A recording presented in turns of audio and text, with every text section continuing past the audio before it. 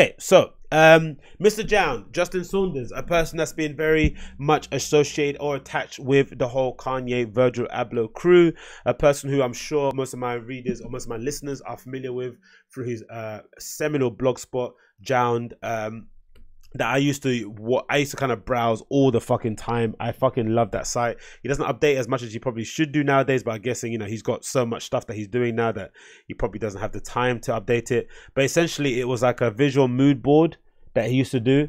Um, that he doesn't really do that much anymore. Um, I'll show you it now on the screen so you guys can check it out. This is the JJJJound website, and essentially just a list of images. And I think I remember the time uh, at the bottom of the of the website, he'd put a footnote, something along the lines of, "Oh, um, this will be a." This is gonna be your best, your favorite new site, or something like that, or something along those kind of lines. Like really bold declaration, but after a period of time of him doing it, you kind of did recognize that yeah, it was the best site. Just amazing pictures, sourced from all over the internet, kind of you know harkening back to the days, old days of, of Tumblr, but done in a really tasteful way. Um, loads of connection between the pictures, between how he uploaded them, uh, um, similarities in colors and hues.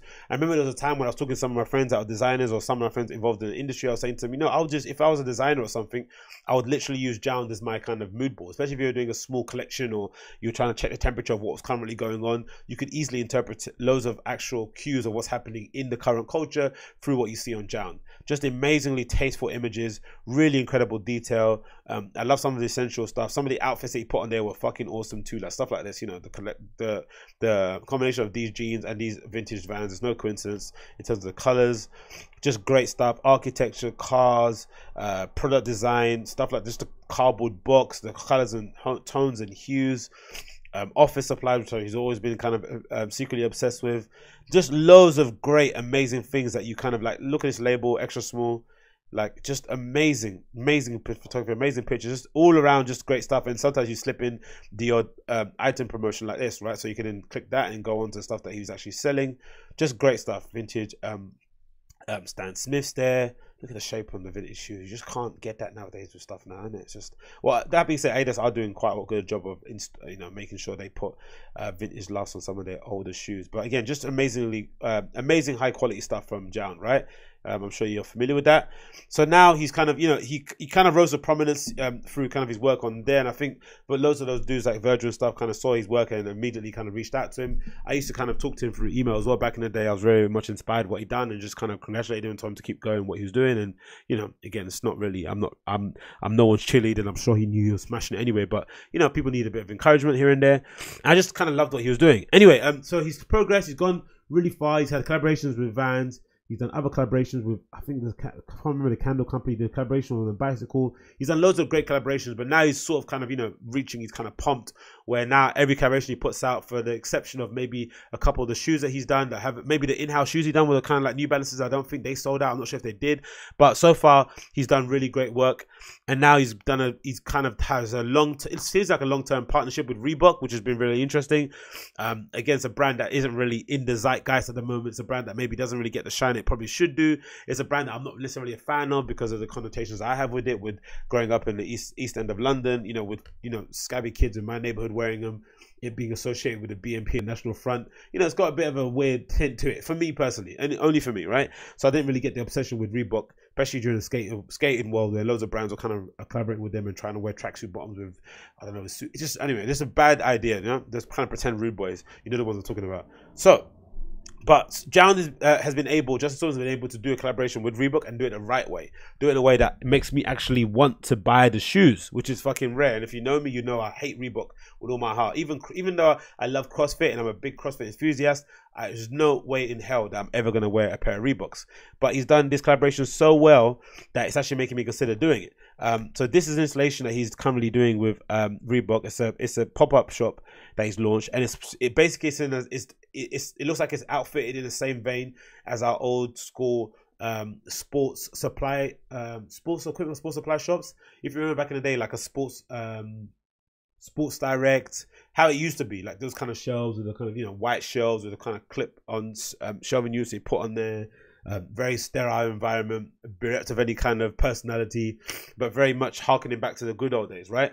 And he's done an entire collection. It looks like with Reebok, um, tied in with it with merch, and then he's done another side of the, of the collaboration where it's sort of like a, a homage to the olden days. He's picked up loads of stuff, loads of vintage items that he's then selling on eBay to raise money. I think, I think raising money. I'm not sure what the deal was with that, but regardless of that, the collection just looks so cool. Loads of marl grey, which is he's obviously obsessed with.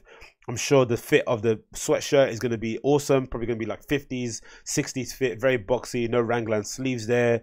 Um, again, uh, loads of nice towels. The Reebok, the Reebok trainers, obviously, uh, sweatpants done in the bright way, hoodies, uh, tote bags, hats, just really great staples that every guy can use in their wardrobe. Just amazing, amazing, amazing stuff.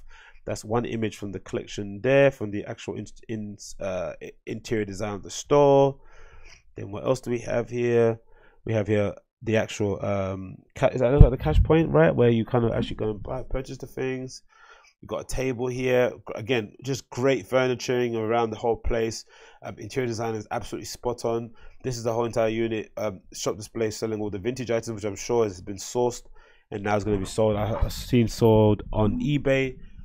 Again, probably stuff he's picked up over the, over time. He's always been a stickler for really old vintage books, which I've also been a fan of. But you know, I usually pick mine up at charity shops and stuff for the most part. Um, again, just really great stuff. Look, massive fucking Xerox printing machine, harkening back to good old days again. Just great, great, great, great stuff. I'm a huge fan of JJJJound, and I think he's doing amazing work. I just think again, it's a credit to him.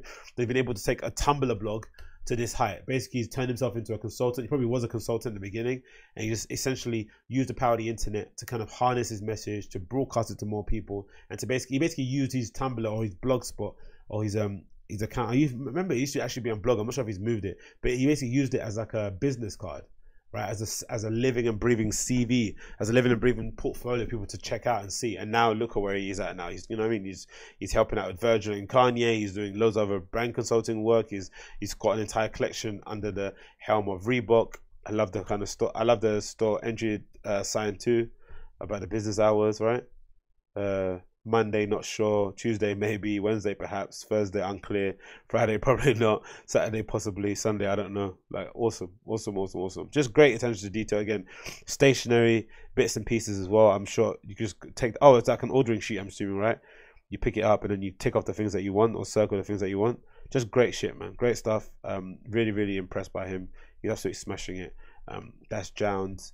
Uh, pop up shop. Um, uh, real pop up shop for the Re- for the Reebok Club C eighty five. And when's that shoe shoe gonna come out? Oh, so opening April twenty seventh. So opening at the end of the week. So if I guess if you're in around, is it in Canada, right? Yes, in Quebec. So if you're in around Montreal, go and check that out because he it, that stuff will not be hanging around.